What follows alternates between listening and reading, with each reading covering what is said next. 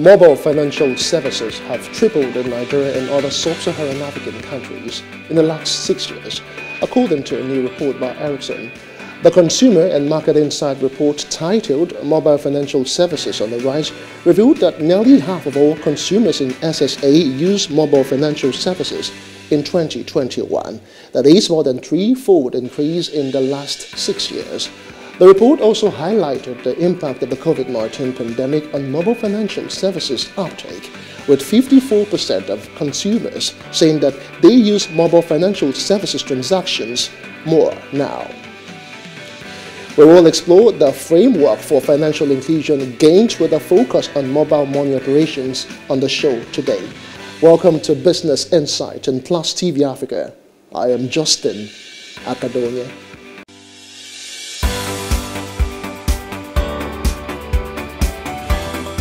All right, electricity generation scrapped agencies in the petroleum sector.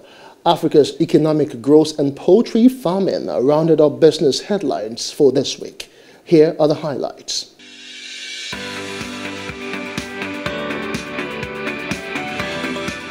Power generation companies in Nigeria have said they have suffered a loss of 1.66 trillion naira in seven years as a result of non-payment for deemed capacity. The Executive Secretary Association of Power Generation Companies, the umbrella body for the GENSCO, Dr. Joy Ogaji disclosed this on a stakeholders meeting on the Regulators Monitoring Program on Electricity, organized by Wole Soyinka Center for Investigative Journalism. Ogaji said the available generation capacity dropped to 6,192.34 megawatts this year from 7,792.51 megawatts in 2020, while the average generation capacity rose to 4,120.96 megawatts from 4,050.07 megawatts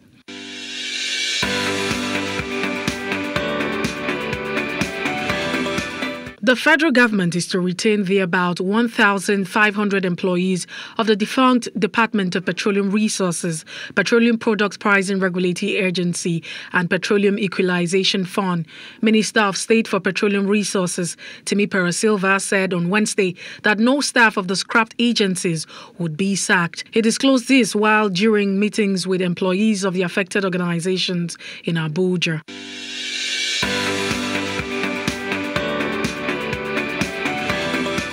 The International Monetary Fund IMF has projected a 3.7% growth rate for sub-Saharan Africa in 2021. The Director of African Department of the fund, Abebe Selassie, disclosed this during a press briefing on October Regional Economic Outlook for Sub-Saharan Africa in Washington on Thursday. He said the fund estimates that the Sub-Saharan Africa's economy will grow by 3.7% in 2021 and 3.8 in 2022. The recovery is supported by favorable external conditions on trade and commodity prices.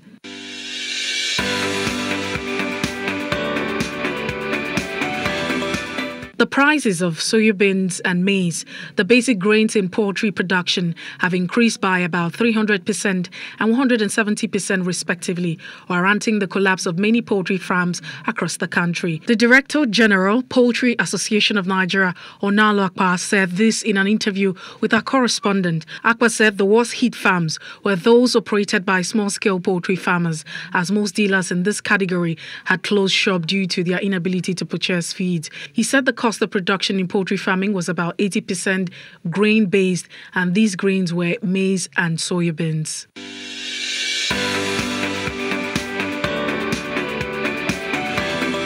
President Recep Tayyip Erdogan says the Nigeria-Turkey trade volume will be expanded by $5 billion immediately to further boost socio-economic ties between the two countries. Erdogan stated this when he addressed newsmen at the end of a closed-door bilateral meeting with President Muhammadu Buhari at the State House Abuja on Wednesday. The president, who spoke through an interpreter, expressed the hope that the relations between the two nations would be further developed on the basis of win-win situation in the basis of mutual respect. And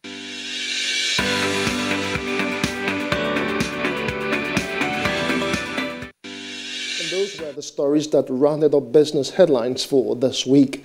Joining us on the show today to discuss the impact of mobile money on financial inclusion is Kehinde Olayinka. He is the coordinator at Moniepoint Lagos East Zone.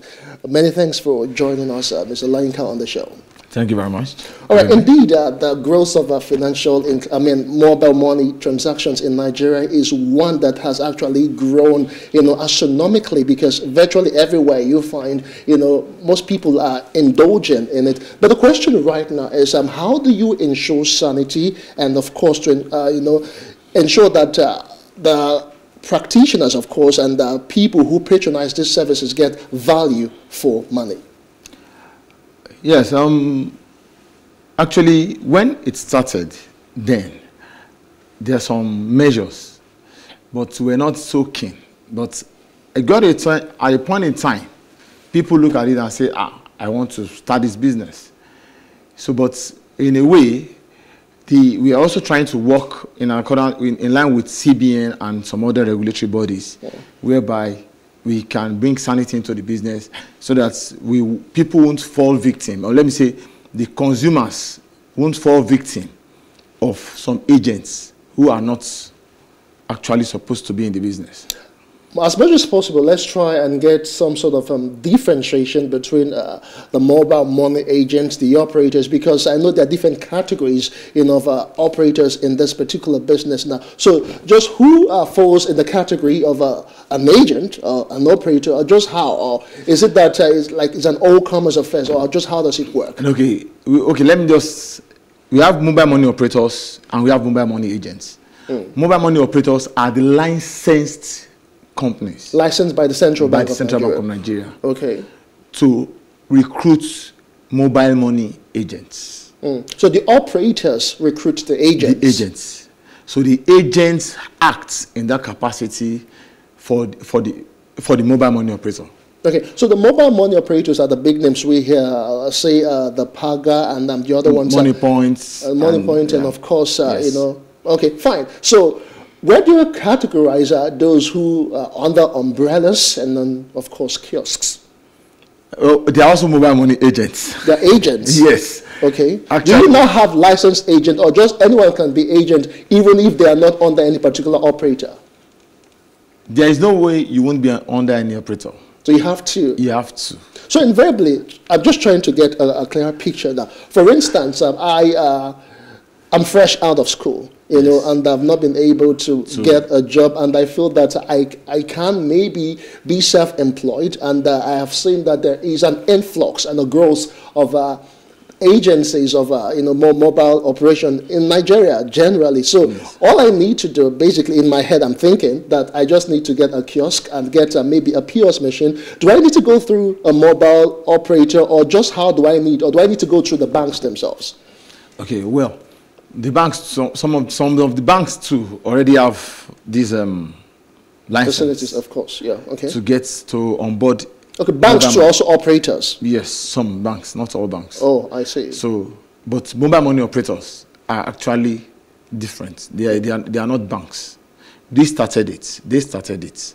Banks came into it. Mm. So, like you said, if I just graduated and because I want to start something, I want to be an entrepreneur and everything. Mm.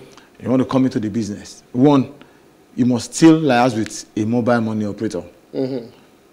But the terms and conditions will be spelled out mm. for you. These terms and these conditions, are they rigorous or is it something that uh, could actually, you know, be flown away with as in something you could just uh, deal with easily and of course and uh, not have any issues? Yes, it's a, it's a CBN, line, it's a CBN um, organized um, entity, business. Uh, you cannot just fall into it without the, be the necessary documentation on the part of the agency or yes, the, on the, the part uh, of the agent operators. before you can become before you can become an agent. Okay. The necessary things is like your BVN is necessary will be will be requested for your NIN. Everything must be done.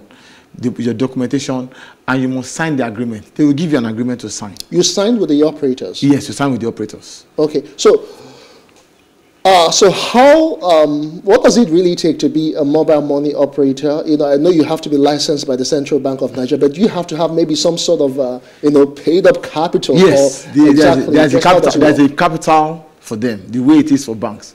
Oh, there is. Yes, there is capital for Care to share? Money. Yeah. Sir, Care to share with us? Uh, actually, I cannot remember okay. that now. Okay. But for you to be a mobile money operator, you have your initial capital, the capital that given to you by CBN. Okay, so how do we ensure sanity? I know I've asked that before, but just to be clear, because from all indications, I just read not too long ago that the federal government, uh, through the Ministry of Humanitarian Affairs, Disaster Management and Social Development, uh, announced the launch of a mobile money agent program, program yes. and the commencement of training for 1,850 50. beneficiaries in Nigeria. Let us talk about that for just one minute, you know, because I feel that there is a need to, you know, orientate, you know, these agents, because some of them, they don't really know uh, as the vastness of this particular you know business because to them it's just about uh, maybe uh, withdrawal, depositing, and um, transfers. You know, so just how far would do you think this particular training would go? And to take uh, that uh, from that particular uh, place, uh, what more training could be done? Because the federal government alone cannot do all of it. Yes, um, for some something like this, one thousand and fifty, they want to train. Mm I, I, it's, it's a plus, but the thing is this, this we, we are also looking at it even from the association and even organizationally differently that we there are some things that needs to be done so that some people will only want to benefit from things like this. They don't have a pure heart. How do you mean they want to benefit and don't have a pure heart? Yes, some people just say, okay, the federal government, because they know they will be paid some money Okay. Okay, so they're just going into it because of what they could get, not because they, they actually need, need the, yes. the, training itself. They yes, they don't need it. They only let me just go there. And after that, some people will be there. After the training, they might not even Practice. have a flair okay. for the business. Mm. They say, mm, I don't like it. Because by the time you go for the training, I conducted, I was one of the facilitators in one training of recent. Mm. When I said, some, when I told people about some the pros and cons in the business. So people were like, wow, can I continue this thing? so, okay, fine. Glad you've mentioned um, pros and cons because a lot of people, you know, they just see only the pros, as it were. They feel that. Uh, the what you need is just uh, get maybe at least a hundred naira for each transaction that you do. But then, what are some of the hazards you know involved in this particular business? Yes, some of the hazards involved. One is that it's, it's not a corporate entity. I can start the business and employ anybody. Mm-hmm. Not like the corporate entity. Okay, the, the organization I work for, I sign an agreement. Yes. So if in any at any time I embezzle funds, mm-hmm. they will get me. They know where to trace they know where to They have your information. Yes. But most people will start the business.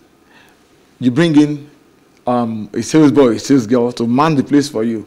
At the end of the day, run whisk away with your money, mm. your capital. I have had series of reports of such, and no, they cannot even trace them where they are. Mm. Aside that, we also have um, our major the major fact problems we have there now is the problems of um, most customers go to the bank to report mm. transactions that were approved, whereby they were give, they were paid money. Okay, For they, example, a, a transaction yes. was successful. Yes. At the end of the day, the customer goes to the bank to report. to report that this thing was not successful. Okay. And most times, banks will just automatically debit. Just like when they've not done their own investigation? Yes, it happens like that because they believe that the customer that came. So how do you, how do you, how do you protect you know your agents? I know they have several. I don't know. I know of one exactly association. I know of this AMMBAN and AMMBAN, all of yes. that. You know. So is it just uh, you know the only recognized association you know to cater to all of the issues in the yes.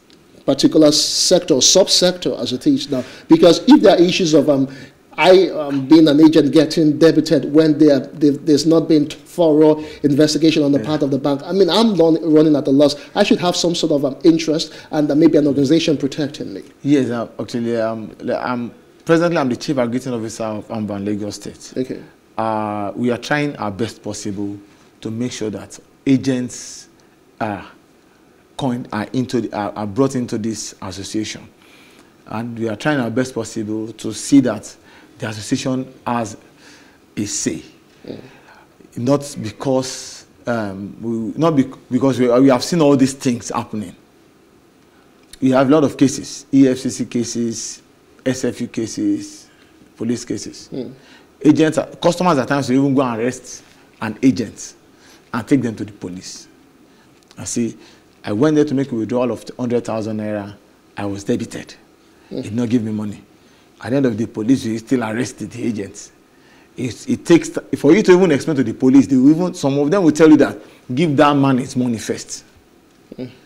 After paying the man, the case won't be followed up thoroughly. But the association is actually working on things like that. Let us see. We want to get a lot of um, support from the up the let me say the, the regulators. Okay, that's the CBN. CBN.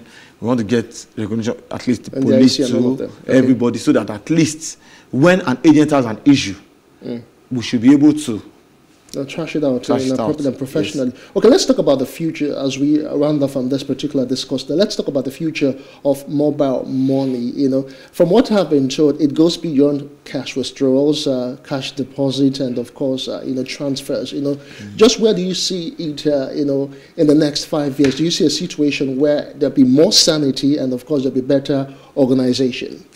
Yes, by His grace, yeah, there'll be more sanity and better organization because um, we, we, we have seen the pros, we have seen the problems when it started. Actually, when it started, it was not like everybody wanted it. I, I, I remember when, I, when we started then, the first customer that came to my outlet asked me, hmm, with this money go that I want to transfer in your place? Mm. You understand? But now everybody has seen the, the, the, the, the, the, the that this thing is not false. Mm. So, and most people just want to come into it to do it. And mind you, because the POS, everyone look at the POS, it's not actually a POS. We don't call it POS, we call it mobile money agents. Okay. Everybody call it POS business, POS agents. Mm. It's not just POS agents. Now, most people just they, when the when the government started or when they started this cashless policy, we brought the that was when this thing came we have the merchant pos and we have the mobile money agent mm. pos but on the, unfortunately a lot of things are coming to it whereby mm. even merchants. So there's too, a big future, there's a big opportunity, yes, vast potential yes, for this particular for this sector. yes, there's a very vast one for mm. this sector. All right, uh, I wish we had much uh, time or more time to discuss um, further because uh, there's a whole lot of interesting things uh, you know happening in this particular industry when we talk about financial inclusion. Indeed, we have to bring you on again and uh, just talk about um, the development you know that abound um, so far. Thank yeah. you so much. Yeah, I'm grateful. Thanks. All right, we have been speaking with uh, a mobile money, uh, you know, a stakeholder, and indeed, like we have said, there's a lot we can do from this particular, you know, sector. And of course, uh, Kehinde Olayinka is the coordinator, at Moniepoint uh, Lagos E-Zone, and he joined us on the show to look at all of um, the development and, of course, um, how far we can take this particular sector. Once again, we say uh, thank you for your thought and your input. Thank you very much. All right, we will conclude on housing development in Nigeria. The federal government has urged state governments to harness the opportunities in the housing sector and recommit to its development. Minister of Works and Housing, Babajide Fashola, said this at the last day of the 10th annual meeting of the National Council of Lands and Urban Development in Lagos. We'll leave you with details of that particular report as put together by Jacinta Obuku. See you again next time. I am Justin Akadonye. Bye for now. As the Council concludes its annual meeting, the stakeholders, including commissioners, permanent secretaries, gathered to put together all the deliberations reached. The conclusion of the meeting is not without the presence of the Minister of Works and Housing, Babatunde Fashola, as he highlighted some of the strides achieved in the sector and what more is to be done. The federal government is undertaking a national housing in all states except Lagos and Rivers, which has not started. And I want to clarify that it has not started in Lagos and Rivers because their land is unique. This government has given us land in Lagos, but it is going to cost some money to sandfill it, and that would add to the cost of the construction. I seek to persuade all members of this council to go back to our states, to go and persuade our governors to recommit to housing development. Thank Host of much, the meeting, Governor, Governor Babajide Sanwo-Olu, pointed that his administration morning. is poised to eradicate a housing deficit in Lagos State. We're ensuring that we look at the costs of um, um, developing that will be able to utilize the full value of the land. We need to be very smart, you know, with the kind of houses that we can build, with the kind of model you know, when we say to people, if you don't need a four bedroom or a five bedroom, stay with your two bedroom and ensure that you are efficient in your, in your allocation and your utilization of space. Next is the Council's communique, which was read by the Works and Housing Minister. Approval by Council of proposals to uh, reduce the maximum advance rent payable with respect to housing for middle and working class residential houses to no more than one year to be further reduced by states who have achieved one year in order to make uh, housing more accessible and affordable for Nigerians to rent.